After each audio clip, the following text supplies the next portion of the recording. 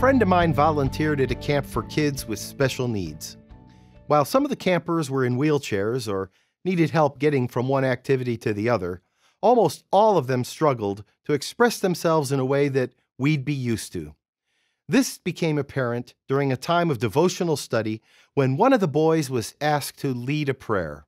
This camper really wanted to do a great job, but as he started to pray, my friend leaned in, trying hard to understand the words being said.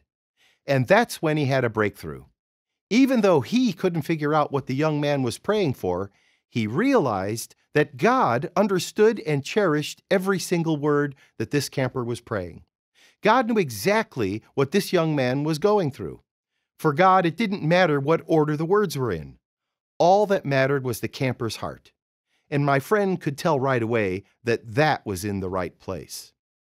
As president of GCI, I end up receiving a lot of emails from people asking me questions, sharing their favorite sermons, or just checking in.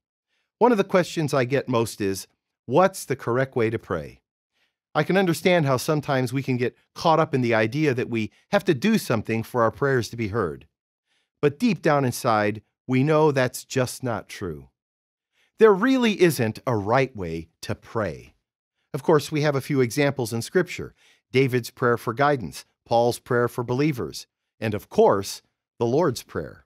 And while these and many more are great signposts that point us in the right direction, at the end of the day, prayer is a personal way of talking to God. I think what matters most is that we approach the throne of grace humbly, with a heart devoted to seeking God's will and a spirit of willingness to join in the redemptive work already happening around us. I think that as we do that, our prayers will be headed in the right direction. I'm Joseph Tkach, speaking of life.